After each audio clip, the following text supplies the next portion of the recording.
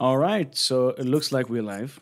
What's up, Action Tribe? AJ here, host and founder of My Seven Chakras, my7chakras.com, the show where we help you calm your mind, relax your nervous system, and experience deep bliss.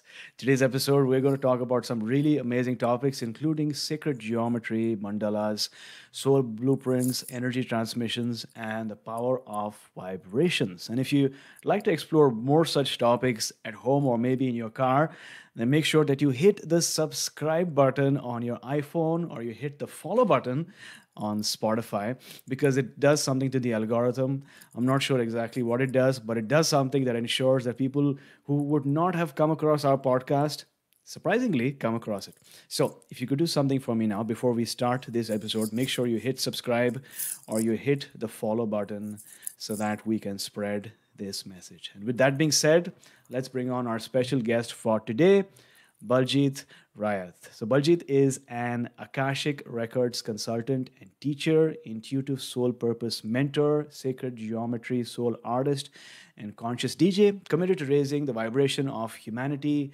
She has worked with thousands of women and men worldwide to uplevel their lives by uncovering the truths of who they are to the core creating profound results in their businesses and relationships. She believes everything in this world is energy, and getting to the root of desire causes a powerful ripple that spans all areas of life.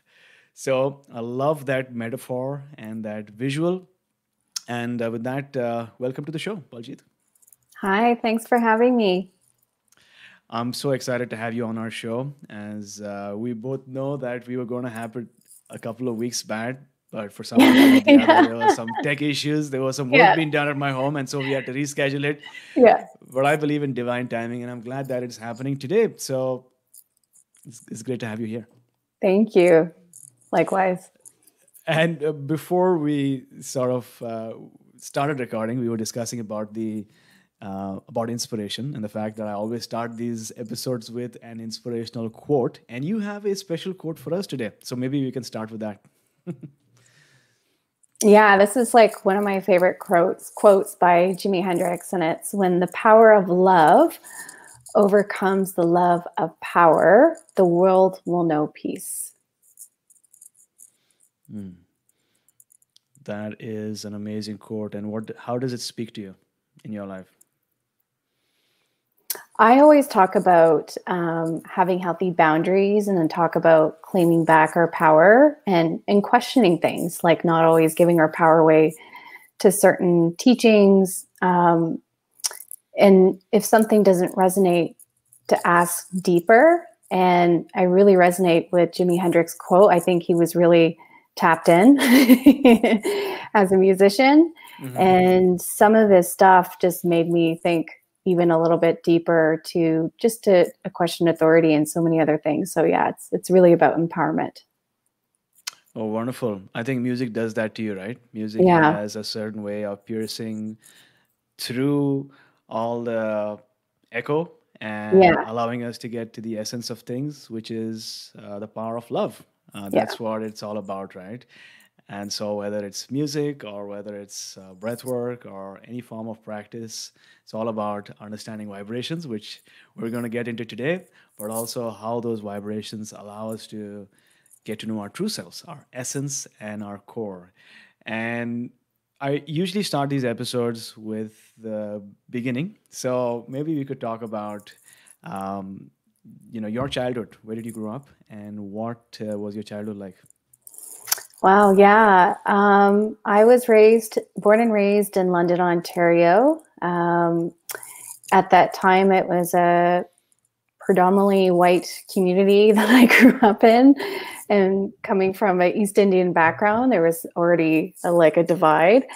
Um, and, you know, being East Indian, as you know, I, I was uh, raised in a very strict upbringing. So um, my parents were at the time very uh, strict, and I felt like I couldn't really explore who I really was at that time. And I just kind of went by the rules. I went by, you know what everyone told me. I went to temple each each weekend. like I just grew up. Um, my background was uh, Sikhism, so uh, studied Sikh religion and just was a, a certified people pleaser. And there was a lot of things in the East Indian culture with women where they, you know, at the time were not fully celebrated. Um, it's changed quite a bit since now, uh, since since then, and it was like you know when a girl was born, it wasn't like you know we no one would pass sweets around. Whereas if a if a boy was born, sweets were always passed around to different families. So there was such a difference with how Indian females were treated and how Indian males were treated. And so that really caused some major trauma inside of me. And then going to school was a whole other story. Mm-hmm. Um, so I dealt with a lot of racism and uh, was bullied. So it was like not only did I not feel safe at home, but I didn't feel safe outside. It was like I had to develop these mechanisms to feel safe and to stay in my energy, but I didn't know mm. how. And so then I developed this mechanism of like, oh, if I'm if I'm a, a, people pleaser, if I just do what people want me to do, then I'll be loved and accepted, mm-hmm. whether it's inside, you know, the family system, or if it's outside in society. Mm-hmm. So just following all the rules and moving forward around age 20, I studied architecture. And uh, then my parents are like, all right, we're going to start finding you a, a, boy. Like, you should think about getting married. I was mm-hmm. like, what?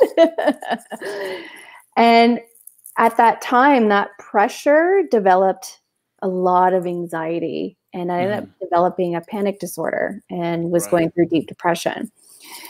I didn't realize how much fear I had about myself till I develop, developed that panic disorder. I didn't even realize how depressed I was. Um, so I was really questioning my purpose. And I started to, I was always rebelling. But at that age, I started to really rebel. I started going to raves. I, you know, did some drugs. I went to like, really, that's when I discovered electronic music and, and really tried to do the opposite of what you know my parents wanted me to do and what society wanted me to do. Mm. and in the end it was it was kind of like me hurting myself because all i wanted was to find what my purpose you know what what's my purpose? Why am i here? Mm-hmm. um, so yeah i went through this breaking point where the panic attacks were so strong that i was questioning do i want to be here on this planet? I was having these thoughts of leaving the planet and one night I sat outside of my apartment in Toronto. I was living at Toronto at the time and it was around 25. So fast forward, mm-hmm. I wrote a letter to God. I was like my first conscious letter to God. And I said, okay, do you want me to stay here or do you want me to leave? Mm-hmm. Tell me what to do. And that was my first uh, conscious way of saying, okay, like a, an ask of like, hey, do you want me to leave or do you want me to stay? Or, like, tell me what to do, you know? Mm-hmm. And the next day, something really like happened to me. I started to listen to my intuition and I heard look up energy medicine. Mm-hmm. So, long story short, I found a homeopathic doctor, and through that, I found um, a teacher who teaches Akashic Records and an Akashic Record reading. And then I was like, oh my God, I need to learn this. and my life did a, a 180.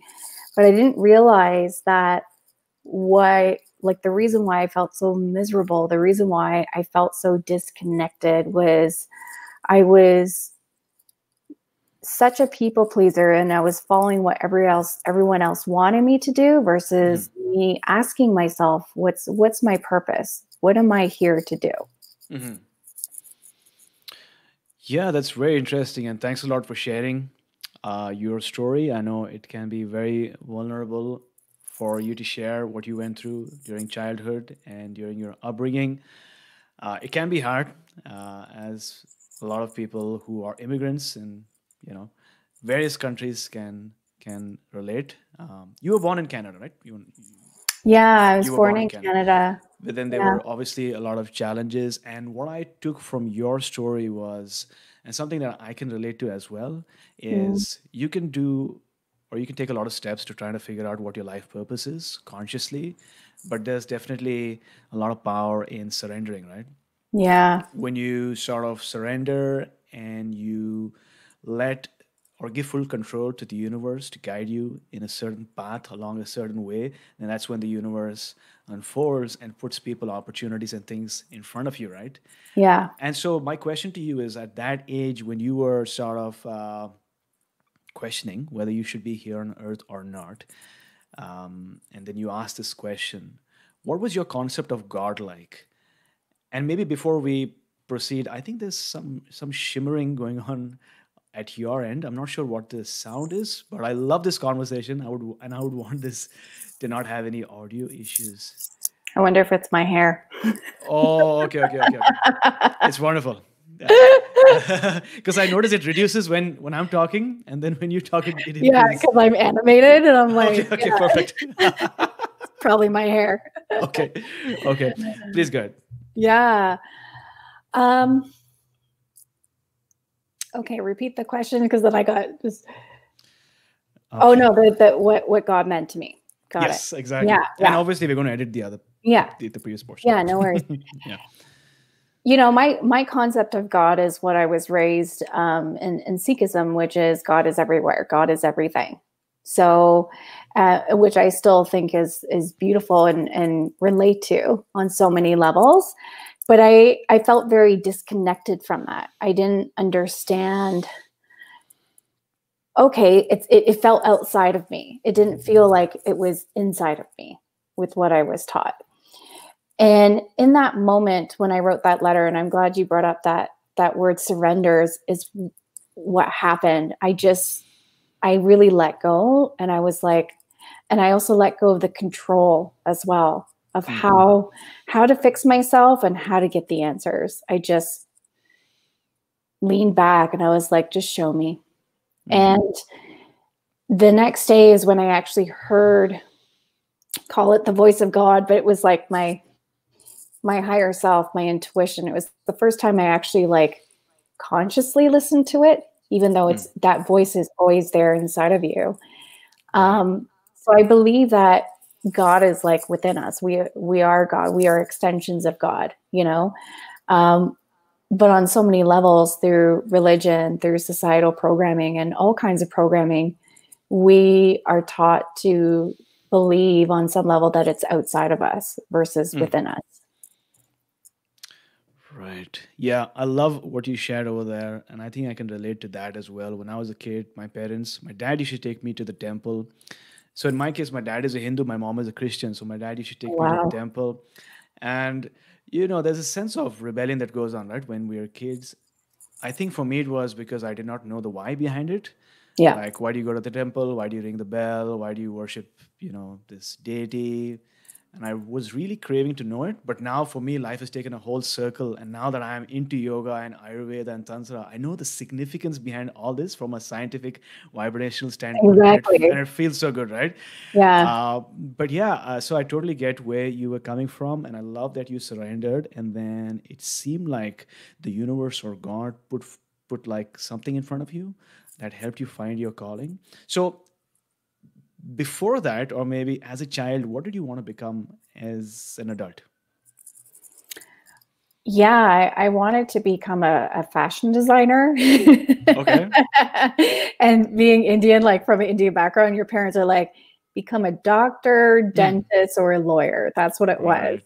Um, so I remember the day, like I was sitting down with my dad and I was applying to different universities and colleges. Um, and you know, I got into like urban landscaping design, but I also applied for interior design, uh, fashion design, and art school. Like I was, I used to be a painter, so I was so like wanting to just paint.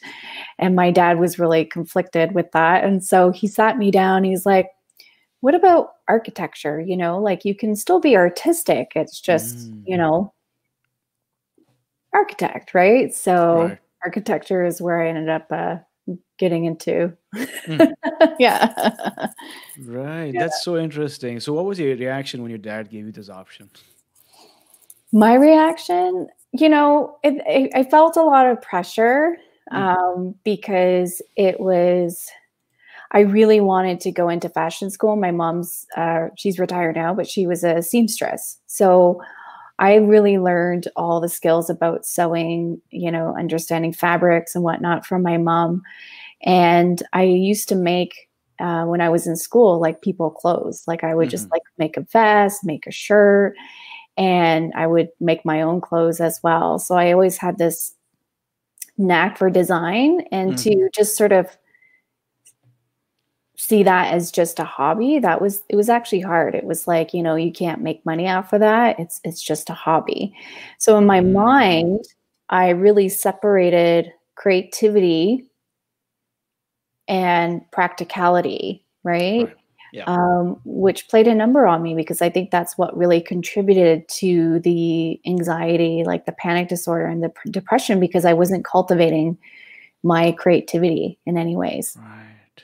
And even in architecture, like once you start working at an architect firm, um, I became an architectural technologist. A lot of it's very technical, you're mm-hmm. not doing as much design work depending on you know the firm that you're working at so i still felt like i didn't have a lot of design uh, freedom you know yeah yeah yeah you would assume you know like you're working at a marketing agency you would assume you're doing all the creative stuff but that yeah. that's not necessary right you might just be doing the selling stuff and yeah it's like a it's like a whole chain yeah and so yeah it's crazy and i think that's so important the role uh, that a counselor plays, right? And somebody who knows what kind of careers you can take. It's so important to just give that child a sense of possibility. And even if you don't know what lies ahead, maybe just giving the, the child a sense of possibility that no matter what, if you work hard, you can, you know, become who you want to. Because I wanted to be an animator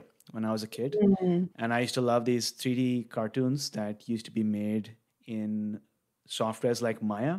Yeah. And I remember my parents taking me to a school one day, and I told that lady I want to be an animator, and I want to someday work in Hollywood. And she told me, you know what? That's not really realistic. You know. Um, wow. Not a lot of people get into Hollywood. And then I have a good yeah. friend right now who is a art director, and he's not in Hollywood, but he's doing pretty well in Vancouver. And so it just goes to show that it doesn't take a lot to like totally knock off a child's dreams, right? And with that dream, you're yeah. not just knocking off their dreams, but their sense of what is possible and what's not. And it causes anxiety and stress. It's so true. And I always find like as a child, our innate gifts, we actually already know what they are as a mm-hmm. child. We actually already tapped into that. Yeah. And you know, as adults and so many people that I worked with, I'm like, what was your favorite thing to do as a child? What's your dream? And they're like, I wanted to be a, an author or blah, blah, blah. And it's like, oh, well, who says you can't do that now? And now they're, some of them are actually doing that because it's in a way of like what parents have taught us. And it's, mm. it's no wronging them or anything. It's like, this is how we get accepted by society or by culture. This is how you survive, you know, this is how you make money. Yeah. So it's there's a lot of rewiring that's going on. And I think there's this huge awakening. Um, and I think the children that are here now, like they, you know, it's it's amazing like how many awakened families they are that are supporting their kids to get in touch with their gifts sooner than later. Yeah, I like the pro- point that you bring out because you can't completely blame the immigrant parents. Like, yeah. right? a lot of times it's a new country; they want you just exactly. stay safe and be at home and not on the road, and so they come from a standpoint of safety and security. But you know, um, sometimes you got to go beyond that. But uh, so then you started your career in architecture. Is that what happened? Yeah, so I, I've been in architecture for seven years. Okay. Uh, from 2003 to mm-hmm. 2009 ish, around there. Um, so I worked at a few architect firms and I was doing more uh, commercial um, buildings and sites. And it was so funny. I always got stuck doing site plans, which is like an aerial view of sites. Okay. So dealing with bylaws, building codes. Um, and that got me more fascinated with crop circles. So by 2006 and nine, when I was having my awakening, I started exploring, you know, other energy healing modalities, and I had two different lives. Um, so I was kind of bridging them both and mm-hmm. looking at crop circles and i thought well isn't this interesting that i'm doing all these site plans and mm-hmm. architecture like it's just just fascinating because i was always fascinated with looking at aerial views of land so yeah yeah that's very fascinating i think uh, the time between 2006 and 9 was very awakening right it seems like yeah. there was some awake global awakening happening like in 2008 i had a bad accident and that sort of kickstarted wow. my spiritual journey. In 2008 you had the financial crisis. Yeah. it seems like a lot of stuff yeah. happened. Just like we look back in 2030 and say in 2020 something happened you know? Yeah. Something, something big happened in 2020 we didn't know at that time but now it makes sense. Uh, totally. But yeah so you, you you're doing this work and you sort of were you i think at a soul level you are trying to relate it to some aspect of spirituality like crop circles and trying to make sense of it all right? Uh, uh, yeah. so what made you leave it? What made you want to change your career or, yeah. you know? Great question. You know going back to my my dad he has this special gift of even if he doesn't like it, he has this intuition to bridge mm. me to certain places. Like he bridged me to Vancouver, even though he didn't want me to like leave being near him, you know? Yeah. yeah. Um, the same thing with architecture, and architecture was such a gift. I'm so grateful mm. um, because it's where I started to channel um, a modality, which I'm going to talk about in a bit, but I started channeling these sacred geometric images. Mm. And it, I just it would it just came naturally because I was doing so much energy work on the side that it was just like again it came from a place of surrendering. I wasn't controlling it. I was just working on a drawing one day and i just started channeling on the on the computer.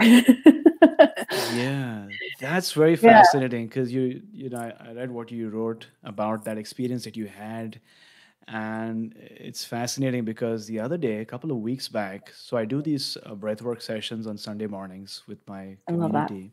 And these can be really as you know very mind opening right? Very surreal very powerful. And one of yeah. our listeners one of our attendees the next morning she posted a mandala and wow. she said that i don't consider myself an artist i don't consider myself you know um, expressive or creative, but here I am, and this is just the start. But I'm I'm drawn to these mandalas. So tell us what happened to you, and where were you? What was happening? Yeah, so I before I even started channeling it on the computer, I used to just kind of draw these kind of mandala looking geometries on a piece of paper. Mm. And I felt energy from them, and I didn't really understand what they were. I just I just knew it spoke to me. Yeah. And then um, so around 2008, I was working on a site plan, and then all of a sudden, I just started to channel uh, an image. So it kind of looked like like one of these. Okay. You can see it. And um, but I felt this energy, and my coworker who was mm. sitting next to me, she was like, she felt it too. She was like, what are you doing? You know, and mm. I said, I don't know. And I spent the entire hour during work. Mm. Um, I know my bosses, my old bosses aren't watching, so I'm good. I spent my time during work completing it. And then I sent it home. And when I sent it to my place, I printed it out. And when I printed it out just on a piece of paper like this, I felt the energy emit from it. And I experienced this kind of like ecstasy. It felt like a homecoming. Mm. And it felt like a language that spoke to me that felt like home. And I was mm. like, oh, like this is this is a part of me like this is why i'm here mm-hmm. and it went beyond what my human brain could even understand so what i did with um, one of my mentors which you know jennifer longmore mm. she did a at the time like 2009 like a future progression on me so i went to my future self mm-hmm and had a conversation uh, with my future self.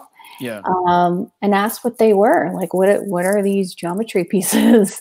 and then I was shared that these are called star activations. So these star activations are energy transmissions that um, that come through the galaxy, but they are connected to our own self. So it doesn't come from another being or a thing. It is us connected to our multidimensional self, our other gifts, our other soul fragments and energies. Mm-hmm. And we've been taught that we're so three dimensional, but we have access to all the other dimensions. And so think about it as like a grid that's blocked us from accessing that part of ourselves. And then I was shown that instead of a blueprint of a building, which I was taught how to draw, mm-hmm. these are blueprints of a soul. So there was a, a transfer of understanding how to create a blueprint of a building and then transferring that of understanding a blueprint of a soul and also learning the akashic records it is the blueprint of the soul you really start to understand how one is um, and so with these star activation soul blueprints is what I call them, or soul blueprint for personalized ones. I call them soul blueprint activators, like they activate your blueprint. I get very specific information for someone, like maybe they're supposed to start a chocolate line or write a book or something. Like they can get very specific so that mm. it, whatever you've been, you just no longer second guess yourself. And so what it does is that it deprograms um, whether it's ancestral programming, transgenerational programming, uh, religious programming, cultural. Uh, I even go into implants, negative alien implants, um, entities, um, like really intense, heavy energies that we don't really talk about, mm-hmm. mind control implants. Right. Um, so right now I'm doing a series that works a lot with the mental body and um, my guides have been showing me more about psyops and you know all the other intense stuff. So that I didn't understand at mm-hmm. you know back then. I was just like, oh okay, and then developed this relationship with this modality and being like, okay, show me more. And mm-hmm. the more that I, you know, because when you channel something, you have to be authentic within yourself to receive more information. It doesn't all come to you at once, and patience is needed. So, like the the beautiful woman in your breath work who channeled this mandala, it could be a starting of something. And it's okay if you don't know everything because mm.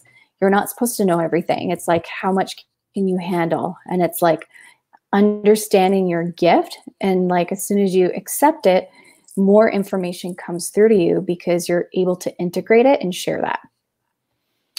Very very true. Very profoundly put actually. And what comes to my mind is sometimes we like language is a benefit right? The words that we use.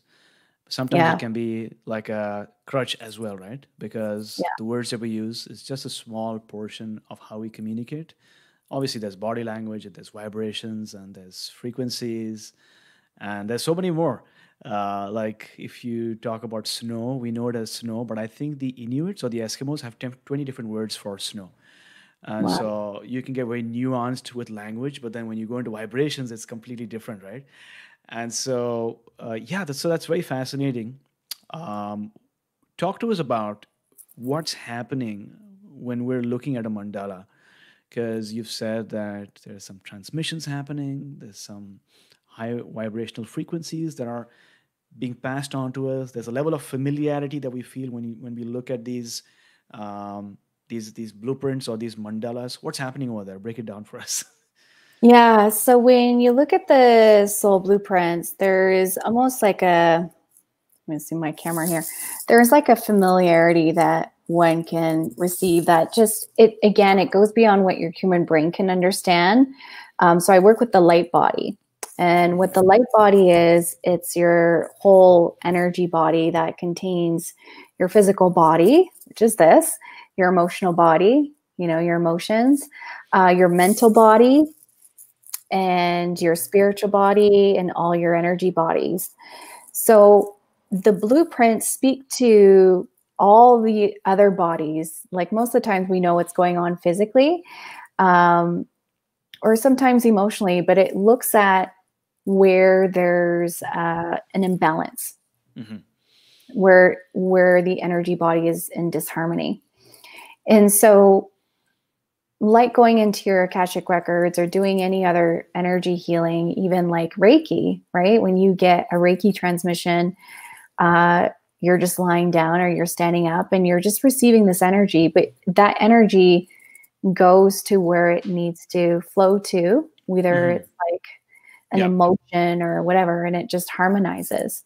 Mm-hmm. So the soul blueprints does something very similar and it works on a very deep level of activating the the light body body. So let's just say if you've been bombarded with so much stuff from media, family, da da da, work, mm. and then you're feeling disconnected, like you're feeling discombobulated, and you're just yeah. physically like, ugh. By receiving like the star activation transmission, it starts to, you know, pull out the stagnation and just reharmonize. So by reharmonizing, it it reconnects uh, the disconnect of the mental body and the physical body and your emotional body. What will happen is that you just start to line back to your blueprint. Mm. And then you start to remember who you are, and you're like, oh, this is who I am. This is how I operate. This is my truth. And you take action through that. Wonderful. Thanks for sharing that. Now, in your explanation a while back, and I'm going to you know, gently sidestep our conversation for a moment yeah. when you spoke about um, alien implants. What's what's an alien implant? Yeah. So there's all kinds of uh, alien implants. It's funny. I don't think I've ever talked about this like live on a podcast before. So uh, here's my first.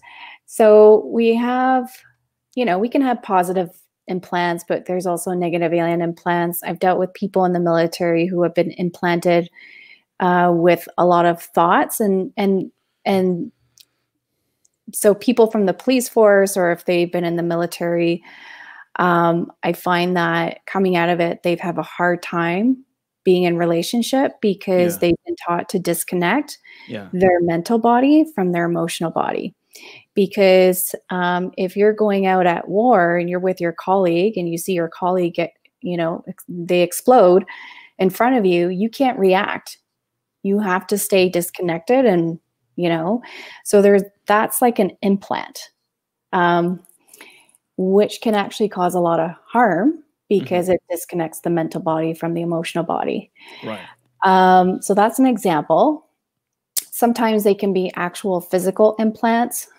yeah. Microchips. You know, like getting a, like getting a vaccine. yeah. Yeah. yeah. yeah. Um, uh, I know my uh, I've seen you know people pull out implants and some energy healing uh, stuff. I've seen some wild things. Um, and it can be negative alien plant implants, meaning it's not necessarily from like a negative uh, entity, though it can be, but it could be just a foreign energy that is mm. unknown to Earth, that is not earthbound, that is that is there to distract you from connecting to your gifts. That is there to distract you from connecting to the truth. So they're kind of like distraction implants.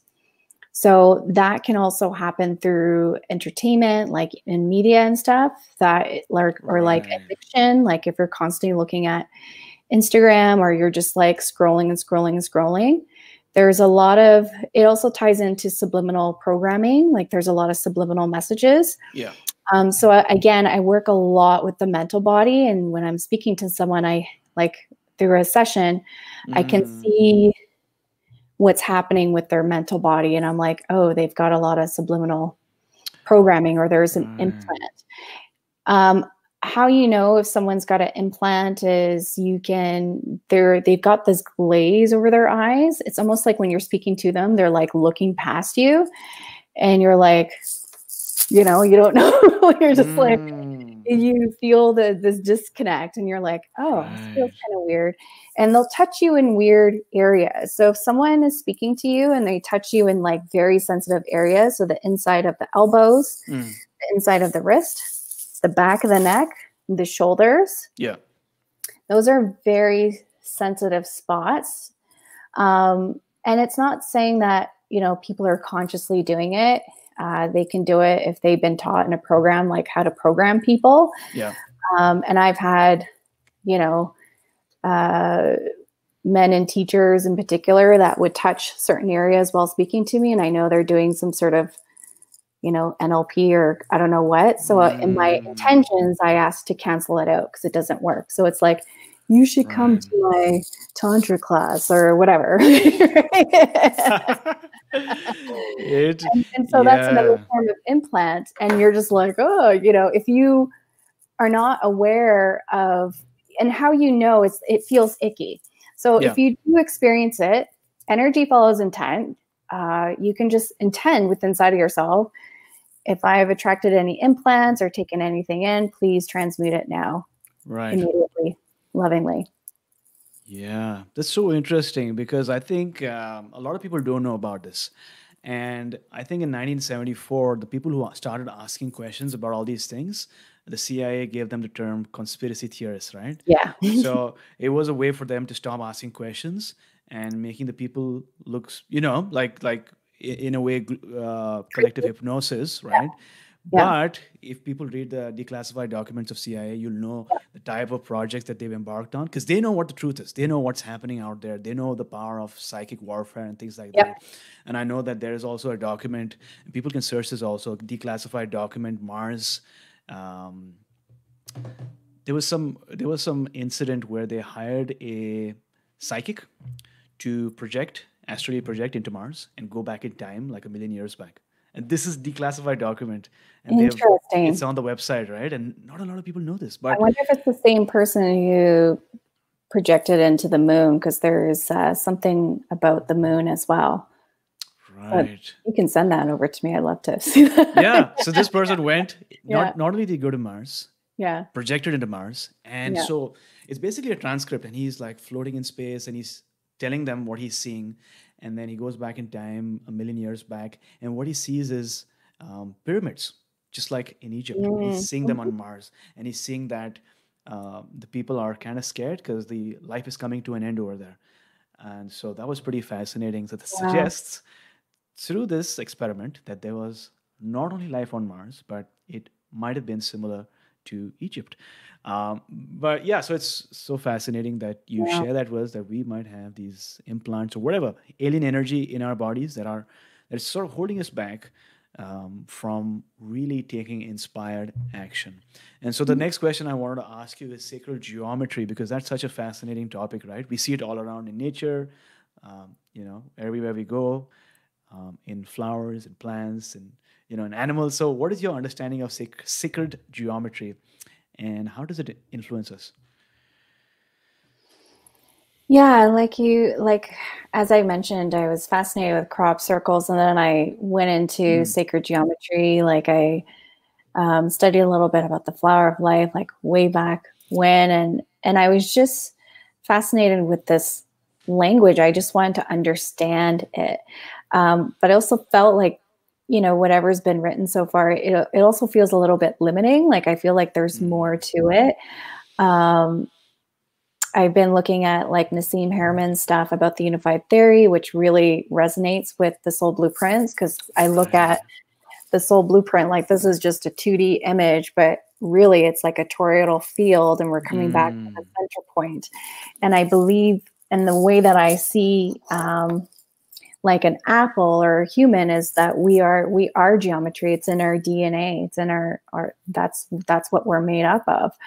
So when i look at things i i see geometry even like in architecture. It's it's like i feel like as society we've forgotten about the sacredness of geometry and we've been like fast building with like buildings and forgetting about the the energy of how it moves. Mm. um, and then looking a little bit into I, am still looking into like biomimicry and understanding nature and building things and like um, mm-hmm.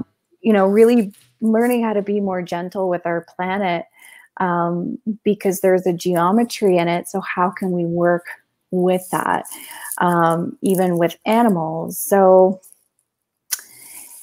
there's so much to say about geometry but at the same time it's like I, I find like it's so limiting in human words. It's like we can study the flower of life or a symbol, but I yeah. feel like I feel like there's so much more to it. And yeah. yeah. yeah. Yeah, that's very true. I mean, what you what you're saying makes sense because you can be the most highly trained musician in the world yeah. and you might know all the you know the chords and the notes and the scales you might know everything but when you play that music depending on how experienced you are the audience always gets it right they don't need yeah. to be trained in music in order to be influenced by the vibrations that are coming from the stage especially from the philharmonic orchestra where you have you know 20 30 musicians playing different instruments but the people just get it and totally. they feel it right so it's beyond mm-hmm. words so it sort of makes yeah. sense yeah yeah yeah yeah so you know coming back to the topic of the mandalas uh, what exactly is a mandala maybe because the ancient tibetans they did a lot of mandala work right yeah, the way that I look at mandalas is I I see it different than a soul blueprint with what I channel, and I have that written up in my um, on my website. Is that I see a mandala as like the representation of the universe and how we relate ourselves with the universe. Okay. Um, whereas like a blueprint with what I channel is very specific to your your soul, like your actual blueprint. And a mandala is like a universal image in in our relationship to that image. So even looking at, you know, it was it was so wild. Like my very first apartment in Vancouver, how I knew it was my apartment is I looked at the uh, I had a beautiful one bedroom um, by the West End, and I looked at the balcony door, like the sliding door, and there is a mandal on it, and it was a Sri yantra. and I looked mm. at my mm. landlord, and I was like, do you know what that is? And she she's Australian. She's like, oh no, it's, it's just a sticker so you don't run through the door. And I was like, oh, she has no idea. Mm. But I took it mm. as a sign of like that speaking to me.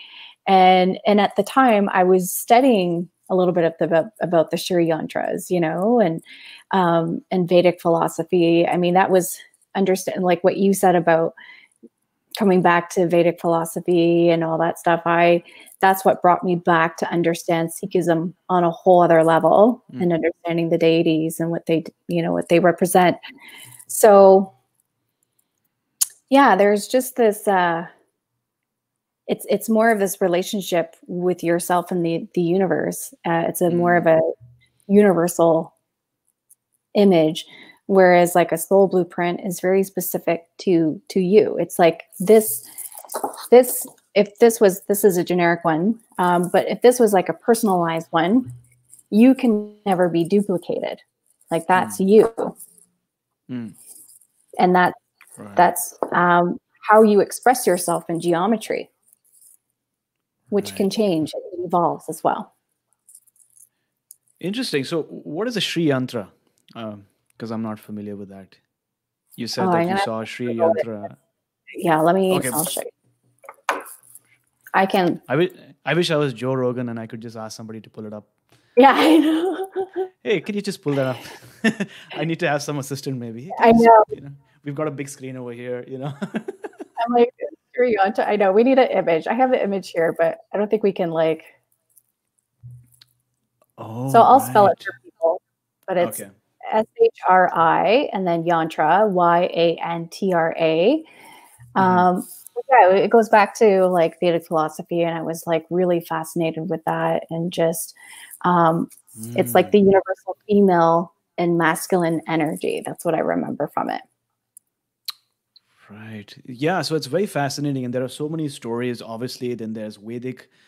Um, how they use mandalas in Vedic India and how they use mandalas in Tibet. One of the stories I've heard is that in the monasteries up in Tibet, they would spend days and days together you know making these mandalas and beautiful right yeah. Mul- multiple yeah. monks and they would it would be so intricate and so detailed and so much yeah. time would go into it they would spend all day on it and multiple days like i said and then once it was ready they would just destroy it they yeah. would just right and so that speaks to the essential nature of the universe which is constantly changing and the importance of not um, you know holding on to people or things or what we have in our life today, right? Realizing that anything can, you know, just disappear in the mist.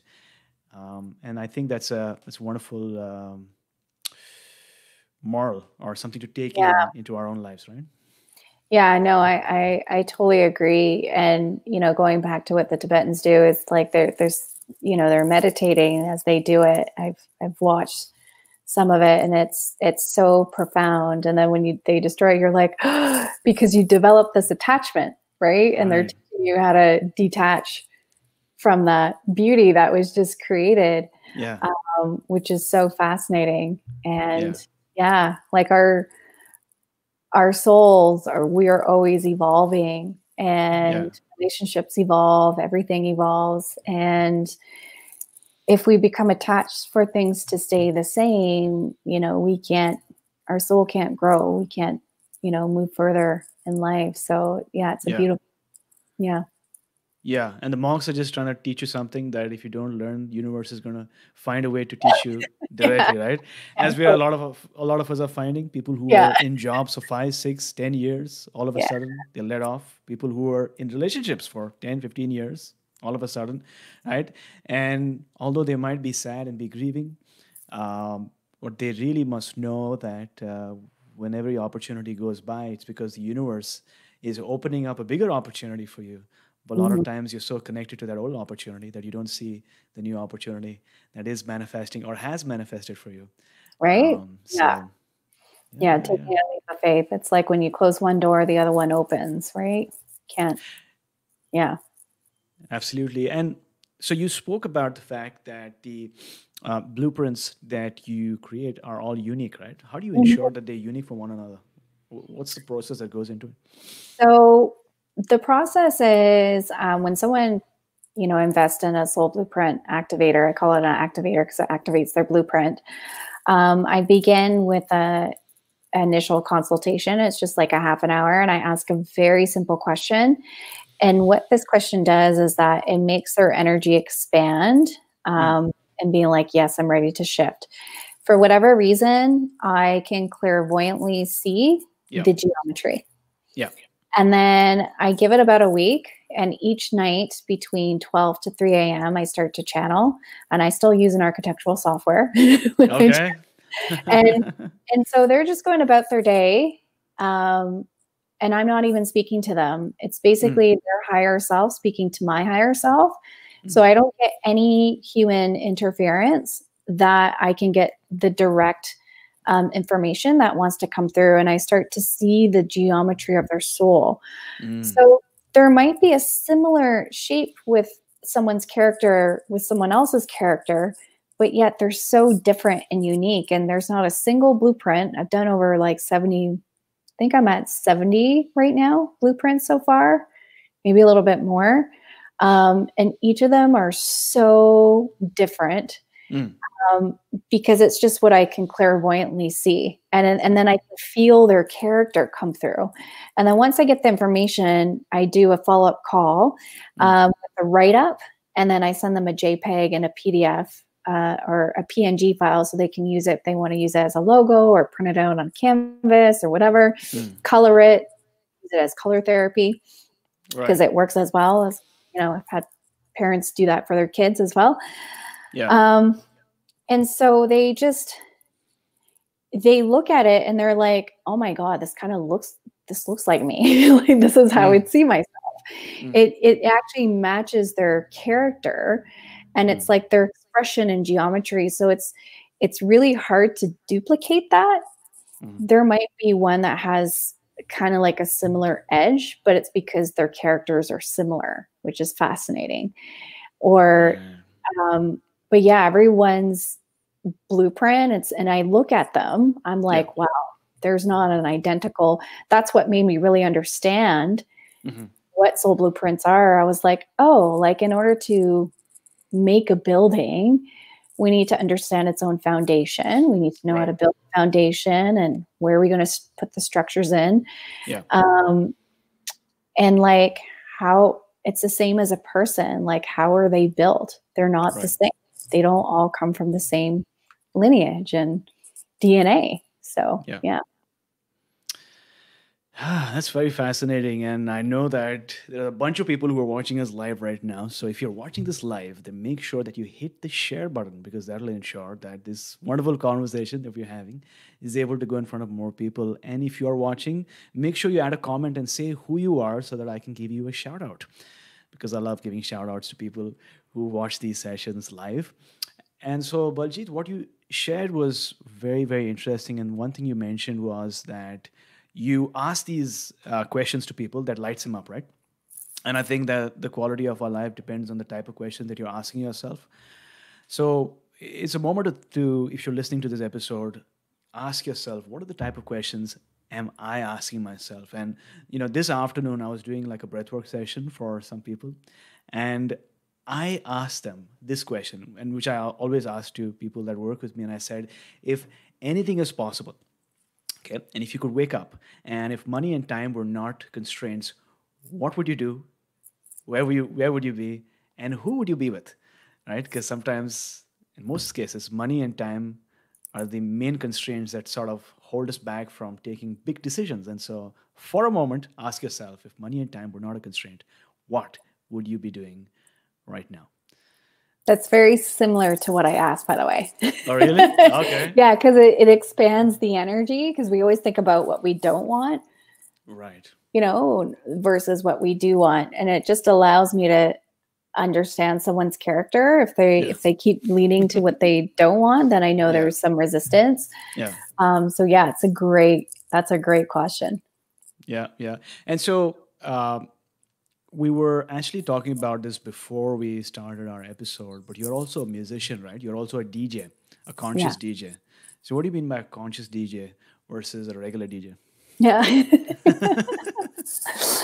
well, I learned how to DJ back in 2010 uh, yeah. through uh, an ex boyfriend of mine. And um, at the time we were dating, we were sitting on the couch, and, and it's funny because he's a DJ and mm. he he goes, if you wanted to, what's something that you've always wanted to do that you see yourself doing? Mm. And I said to him, I said, I see myself DJing, like doing dome events and stuff like that. I said, I I know I'm supposed to DJ, I just don't know how. I'm mm. like, duh, he's like a DJ. And he's like, good, let's let's learn. So mm. he put the controller in front of me and what he would make me do is create these DJ sets while he's sleeping and then he would just like critique it, which was great because I needed right. that. But then he introduced me to Dr. David R. Hawkins' book called Power versus Force. And I haven't read the whole entire thing. I have mm-hmm. the audiobook. it's pretty intense. Yeah.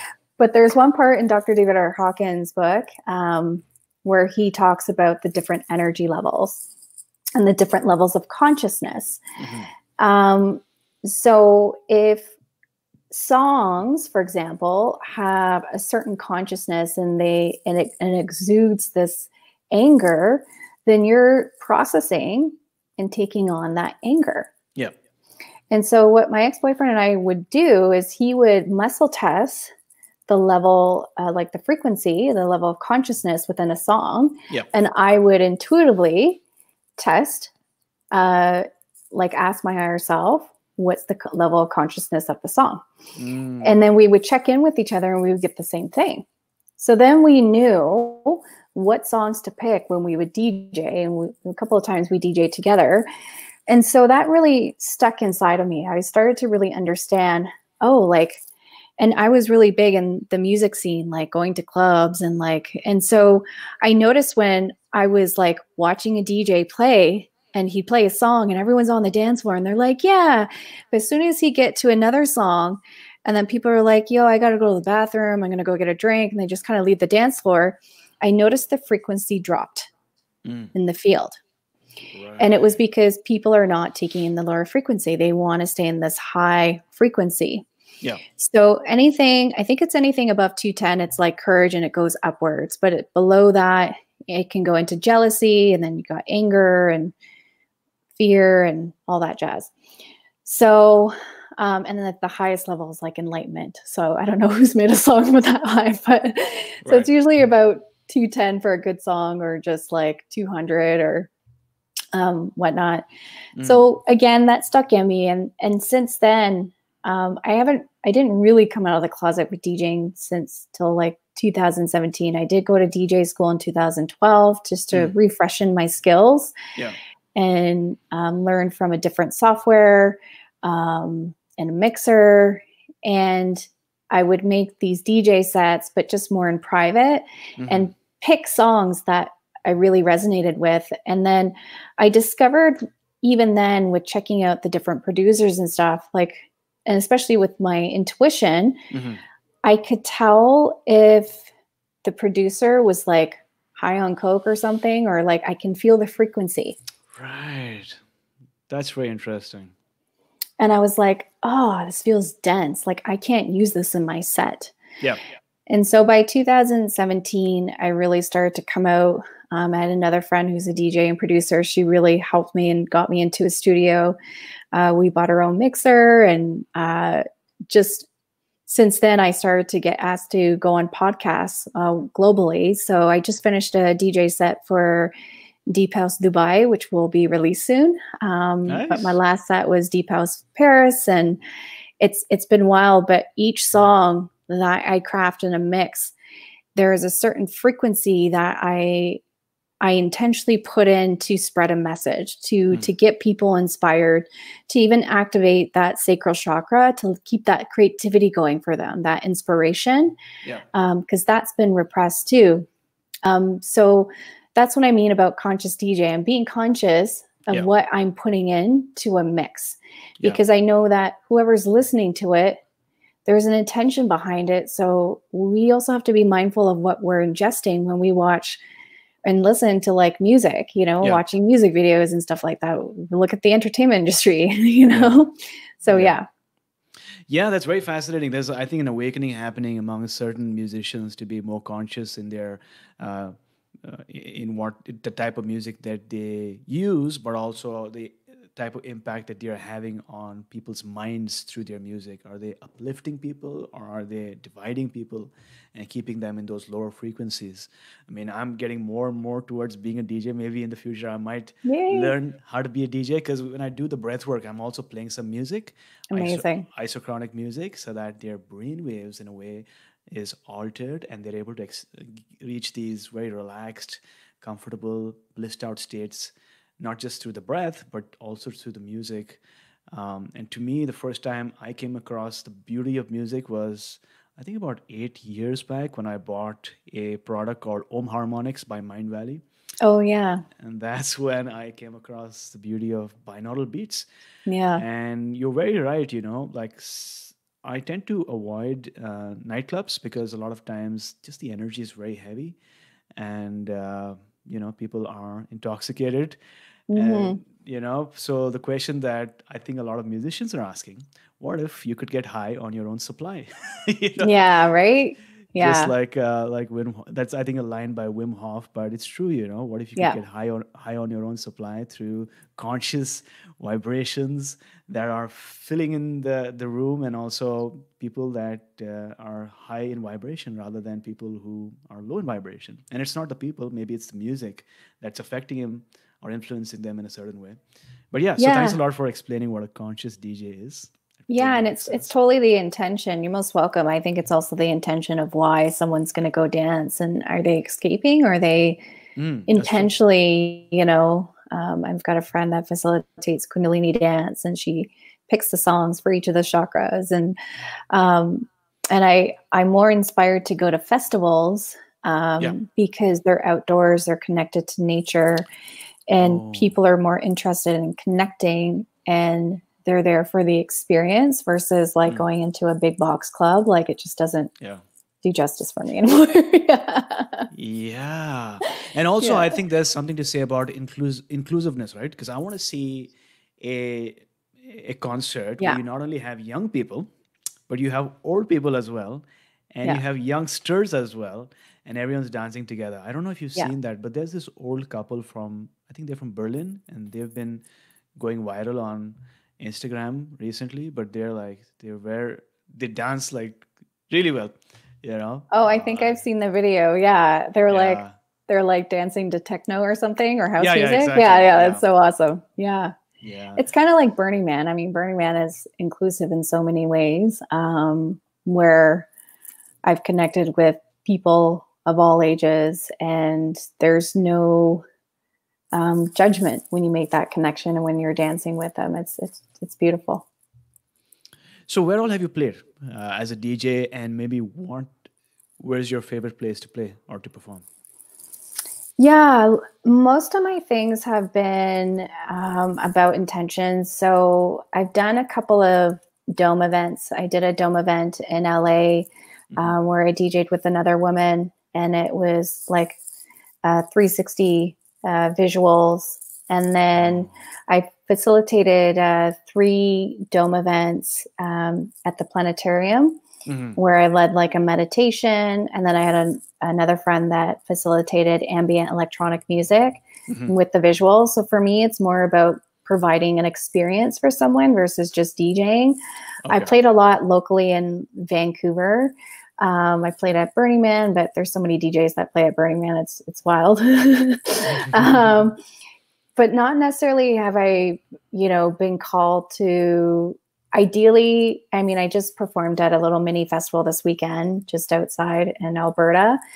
Um, so for me, it's more about community, like where I'm performing and how that creates impact for everyone versus, you know, performing a, a live concert. I've never felt this um, call to do that. And it was funny, I went to the Amsterdam event back in 2018 to mm. look at the scene and feel like what's what's going on. Yeah. And I still felt like there was way less female DJs and then that inclusivity of like, you know, being an Indian female DJ. Um, it just felt like I just felt like there was a disconnect with um, the consciousness and my intentions of creating this um, transformation in people than just performing. I have no mm. desire to to just perform for the sake of performing. If, if, if I know that it's going to can create some sort of impact, then I'll I'll do it. Hence why I've been magically been invited to do a lot of podcasts. It's almost like it started off with one guy in Spain who had a big podcast, and he's like, "Hey, can you do a set for me?" And I said, "Sure." And then from there mm. other people ask me to do to be a part of their podcast because it's more of whoever's listening mm-hmm. to the set they get this experience and i've had so many responses yeah um, i've had people write to me and be like i listen to your set every day because it just picks me up and that right. that gets me like that's how i know i'm like oh it's it's this is what i meant to be doing you know it's it's more of yeah. how can i create more impact with the music yeah, and I also think there's something uh, to be said about divine timing, right? It's yeah. like you try, try, try, and things don't happen. Maybe because you're not in alignment, and then you get into alignment because you've not only done the work, but you've had the patience to wait. Yeah. once that happens, then you get calls from all over, right? Because people can yeah, sense your I mean, energy. I learned back in 2010.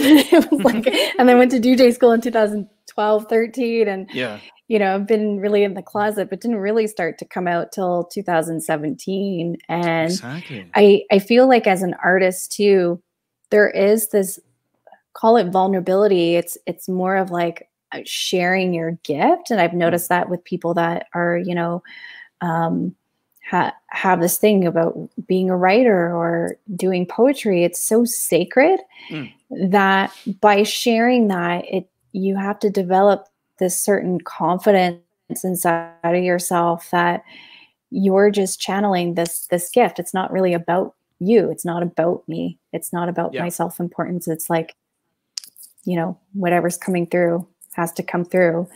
Um, yeah. so yeah like divine timing I, I feel it's this readiness your soul's readiness. And when your soul is finally ready then mm. the next step follows yeah, it seems like all creators, entrepreneurs, small business owners, or people that have a vision or something that you want to manifest, there's a phase of incubation that they go through. And a lot of times it doesn't make sense logically. They're like, this is not working, that's not working. I'm getting failures and here and there. And, you know, nothing seems to make sense and I'm going through struggles. But that's just the incubation period that you're in. And the moment that you're aligned, uh, things just start to work for you. Like in my case, also. For the longest time, I was not doing interviews on other people's podcasts and people used to reach out to me, and I was like, "Yeah, you know, I, I, don't, I don't really do, you know, I don't really do podcasts." And I would say no a lot of times, and, and I would find a reason to say no. But then yeah. when the alignment came, Um, it's just that not only the number of people who reached out to me are more now, but I'm also saying yes more. And this is not yes for the sake of it, but this is an inspired yes because I feel that I'm ready and I've got so much, so many things to share that can genuinely help people and help them transform, right? And so, Yeah. like you said, I don't, I just don't want to go on a podcast to perform. I want to transform and I want to enable people to transform. So that's that's a very, very fascinating. Uh, And I'll, I'll notice like there's still times where I've been asked to perform and even go on uh, like podcasts to speak. right. Um, and I can feel the difference. I actually don't enjoy it. Like That's I don't have fun. Like I know you've probably experienced that too. You just know Yeah. because you don't have fun and you're like, Yeah. any day now, you know, I don't even wear a watch, but I just look at my arm and I'm like, can we go? Like, Yeah, That's very true. Yeah. And maybe people do not give as much importance to this, what we're talking about, as they need to. But there's something about the energy of things, right? And it's, it's there's not, nothing wrong and if you do one of those things and it just doesn't Yeah. align, right? It's just maybe not your day, or maybe the, the stars do not align properly, and maybe the next day you do it and everything works fine, and totally. you know it's very different but it's just it's just phases um, so the question that i had was and i think you've alluded to this a while back but um, when you're making or when you're performing as a dj are you conscious of using certain type of frequencies like maybe isochronic beats or certain beats per minute or something like that Yeah, I tune into, I intuitively tune into where I'm performing okay and, you know, what kind of music they're really like. I can actually feel into what the cloud the crowd's going to be like and then I'll Okay. intuitively know which song to pick. Okay. Um, so I don't exactly add like 432 hertz and all that stuff. Um, it's more of how I'm choosing to show up in energy because I'm being a vessel as a conduit. So whatever I pick will just, you know, if I'm a vessel of this energy conduit, that will just emit through the songs that I pick anyways and put together. And there's times where, you know, during a set before, you know, performing, I've picked my songs Mhm. but then when I'm there, I'm looking at the crowd and everything, and then I'm like, oh, I'm feeling, you know, an energy shift, and I need to use this song to Mm. shift it.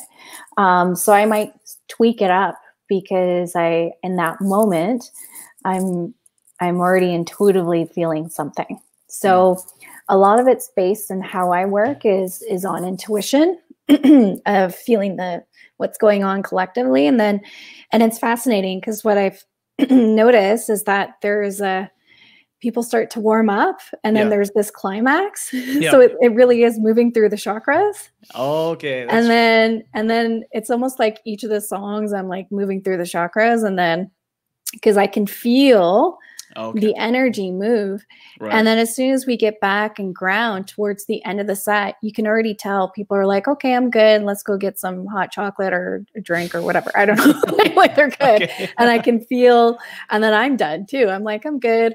Um, okay Yeah. So it's, it's this, um, yeah. Yeah, I'm really getting into uh, dance music these days. You know, listening to a lot of dance music, summer beats. You know, Yeah. just, just light beats, but also the the, the the type of frequencies that are being used makes a difference. But uh, yeah, I'm I'm getting more and more there. You know, because before Yeah. I've gone through phase, and I still love rock and alternate rock and hip hop, but I think there's something to say about um, these beats, and a lot of them they stem from the shamanic beats, right? The shamanic drums Yeah. And uh, the ancient routines and rituals that people used to go to to come together as a community and vibrate together and feel together, right? Yeah. Some of the sets that I've done, um, I've included more of Eastern sounds, so like East Indian sounds to add this element of spice. And I feel like it switches something, like it's like people get a Mm. taste of um, this frequency. And I don't Yeah. know how to describe it, but it just takes them to a whole other realm. Yeah. Um, the Deep House Paris that I did, I mean, people really love that because there was a lot of East Indian elements to it. Yeah. Um, and yeah, and I feel like with using and honoring the the Eastern influences, even the shamanic influences, and adding that in is so Yeah. sacred. Um, I feel like now there are way more artists out there that are, you know, creating amazing music that are conscious, um, even hip hop artists. Uh, I actually have a f- friend, he's a rock musician and he's he's so aware and that's his mission, you know, and Yeah. um and electronic music there's a lot of people just like waking up and like they have this deeper feeling to create something that has a, a sense of connection to them um, Right. so it's probably why you're feeling called to listen Mm. more because it's like it's this match and frequency Yeah. um, whereas the way that we've been raised i mean there's we've been raised to really idolize Mhm.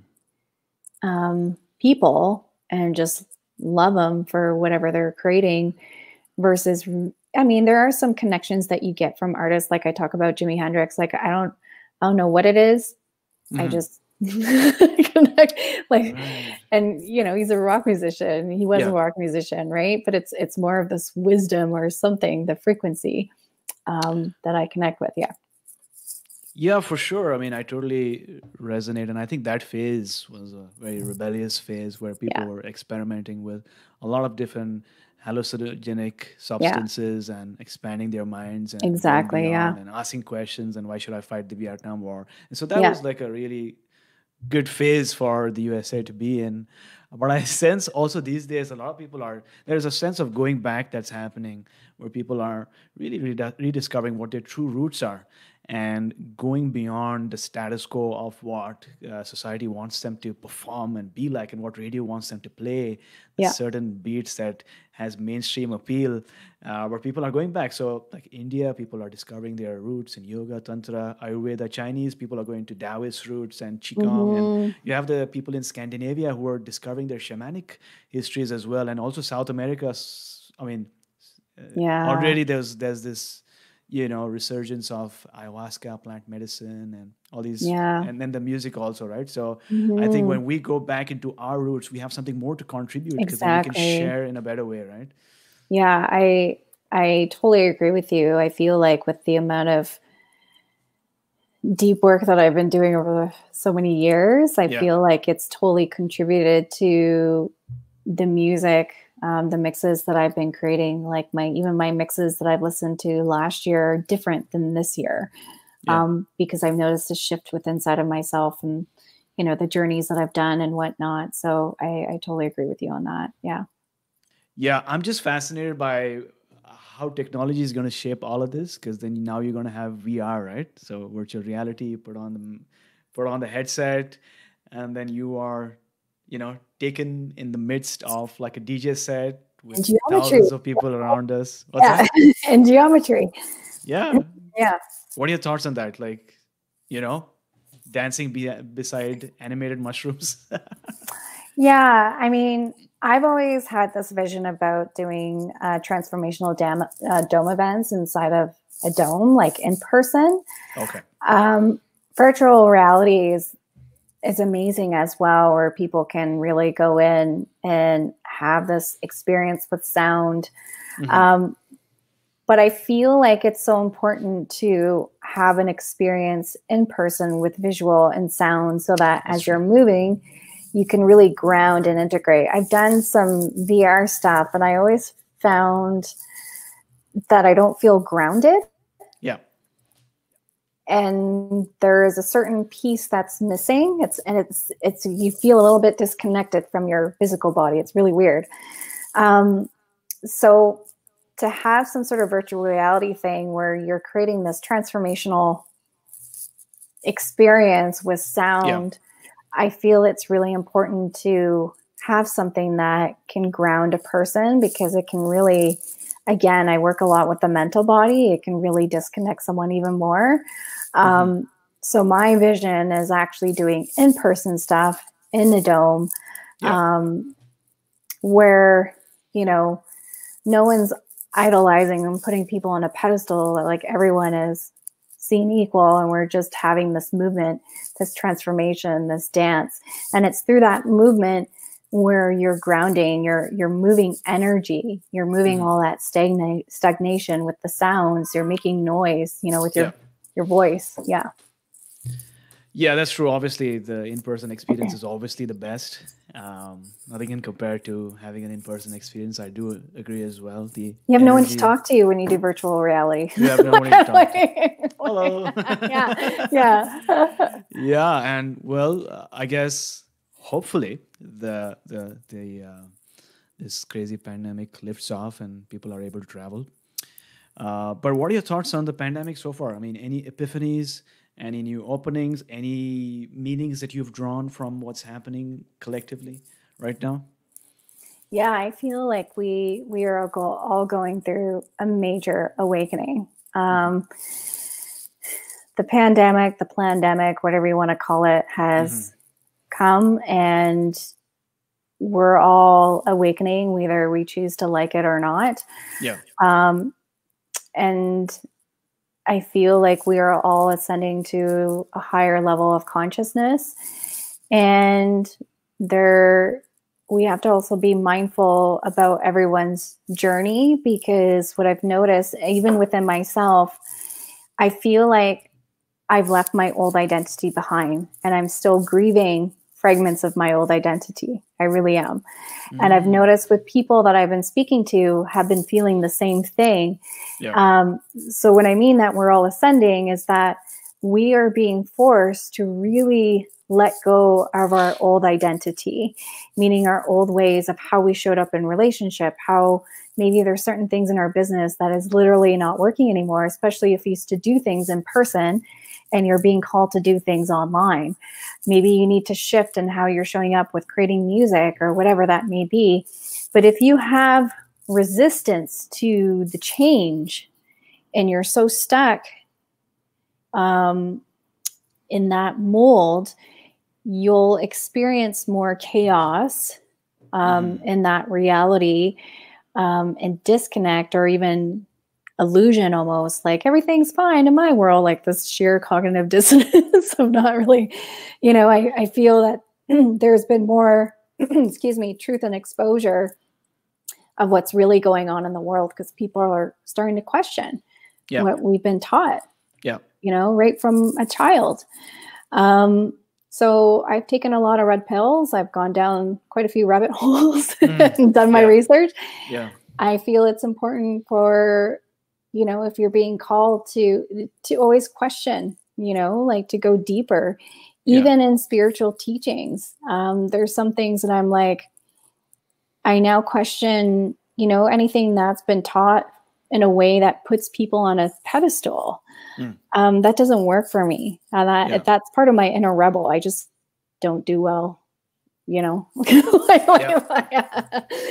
um and i feel like that's a gift too because i question that i'm like what's what's behind that you know mm. um and i also feel like even a lot of leaders too will be questioning you know what they've been taught so it's it's really really deep with what's been going on right now and it's there are things that are like what we all don't know mm. um, and i feel that compassion is very much needed because a lot of us are going at the level that we need to go. We can't force anyone. Yeah. What they need to know, that's up to their own free will and their willingness, whatever their soul contract is to be, you know, like to whatever they need to know in this lifetime. And so, what's really important is that as an individual, and this is part of our sovereignty, is what does my soul need to do right now? Mm-hmm. And what direction do I need to take? and that's that's part of the awakening is is this deep level of sovereignty and and understanding that we never really had freedom even though we thought we had freedom you know what i mean? Like we're really discovering yeah. that um yeah. so yeah it's it's an awakening on so many levels. It'll continue. Um you know there'll definitely be more. I mean mama gaia is you know feels our emotions and there will be more natural stuff happening natural mm. weather causes. Yeah. Um because we we are like there's a lot of us that are angry we're feeling it we can feel everything so it's this is part of the awakening Yeah, I definitely agree. And I think for me, what I draw is it's an opportunity to go within. Yeah. If you look in yoga, there's a there's a there's a mudra where you're literally covering your eyes, you're covering your nose, you know, your mouth, your ears, right? Where you, and and so basically you're trying to focus on your third eye within. And the other day, in fact, maybe a month back, I was wearing a mask and I was wearing earphones and I was wearing a pair of glasses. And so the metaphor that I drew from that was I was doing something similar unconsciously. hmm And to me, it is the universe is encouraging all of us to go within, Yeah. especially since we can't really have the same kind of meetings that we used to have before, or at least the government does not want us to. Yeah. uh, but uh, it's an opportunity to go within and really ask ourselves Am I really living in alignment? Am I doing this job because I love it truly? Yeah. or because I'm forced to do it? And if not, what do I really truly want to do? And coming back to the first question is if money and time were not a cons- constraint, and what would I truly be doing? But also asking these questions, right? Which you Mm-hmm. and sort of pointed to. relationships i've seen a lot of people break up because they've just they're now that they're you know been at home for so long with their partners they're really realizing they've either gotten deeper Yeah. um, or they've you know time's up and it's all good it's like it's this like um, quantum leap that's what it feels like yeah and the inner reflection for sure Very true. And, uh, you know, to perhaps close our discussion on this wonderful topic, uh, one of the first hymns in the Rig Veda, I'm not sure if you know this, but it's called the Nasadiya Sukta. Yeah. And if you read that hymn, it's all about questions. So they ask, oh wow i've never what is the heard about that. stars who's the sky and then th- and towards the end of it uh, there's a question says who is god? Maybe even god does not know. So it's like questioning god even right? Because a lot of people think that hinduism is all about worshiping deities. No. If you look at the rig veda it's all about having like a seeking spirit and asking questions and not accepting the status quo. Yeah. And so I think that is the theme that we are sort of discussing about today. Um, you know, for somebody who is really enjoying this conversation, what is that next step that you would uh, recommend for them? Um, yeah, you can visit my website at lotusdestiny.com. I have a tickle in my throat all of a sudden, right at the end. Um, and you can see all my offerings, and you can also check out my DJ set uh, at lotusdestiny.com. It'll connect you to my SoundCloud. There's also a freebie on my website. So if you want to tune into a star activation healing, uh, just sign up and then you'll get the healing right away. Cool. We'll have these up in the show notes. Action Tribe, I hope you enjoyed today's session so far. We're learning that certain shapes, certain patterns, certain vibrations have an influence on us. Depending on what we're receiving, we might either feel stressed or we might experience a deep sense of healing. It's time to look around in nature and note the geometrical patterns that you're seeing in animals and things and, and clouds, uh, maybe in a flower or a vegetable. Uh, because in doing so, we are aligning with a sacred consciousness of life. And that's probably why Pythagoras said thousands of years back there is a geometry in the humming of strings, and there's music in the spacing of spheres. And that was a quote by Pythagoras. I'm not sure if he actually said that. He probably did. but Yeah. uh, We'll just say is- did. We'll just Yeah. say that he didn't Yeah, have a social media account, so Yeah. We, can, go back and cancel him. You know, Yeah, if, he, if yeah. he didn't say that. Cancel him. Yeah. Yeah. Yeah. So we come to the last round for today, which is the wisdom round. Uh, four questions that our listeners can take note and take action. So, Baljit, what is the best piece of advice that you have ever received? Yeah, the best piece of advice that I ever received is power is not outside of you, it's always within you. And once you really connect to that power that's already within you, everything changes. And if you could turn back time and spend one hour with someone who is living or dead, who would it be? Mm. I right away. I have a dearest little brother who passed away, um, named Trevor. So he's the first person that came through. So yeah. And what is one thing you do in the morning or maybe in the evening before you go to sleep that has improved the quality of your life? Um, every morning, I actually go into my Akashic Records and I set my intentions for the day. Mm-hmm. And then every evening, it's sort of the same thing. I just set my intentions and I just, I actually speak with my guides. I kind of tune in for the day. It's like a recap. And then I go to bed. And if you could recommend one book for our listeners today, what would it be? This was interesting. So when I saw that question, I was like, I don't really read books anymore because there's a lot of unlearning to do. Um, but the Book of Life, which is the Akashic Record, so that's the etheric book. okay. Yeah. Cool. So actually, wait, this is the etheric book. I was going yeah, to recommend the... that people listen to it on Audible, but I guess you can't find it on Audible. No, you? you? have to learn how to open up your own Akashic Records, and okay. that's your Book of Life the okay. best book ever.